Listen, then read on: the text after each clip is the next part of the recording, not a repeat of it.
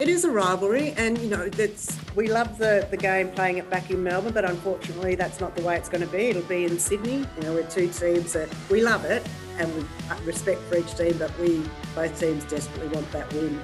I think they've been finding some good form the last couple of weeks. So I mentioned some of the things about that consistency in our game, but certainly that strong start and our ability to execute under pressure and consistently but also too it's about going for it and particularly in defence contesting ball and having a crack.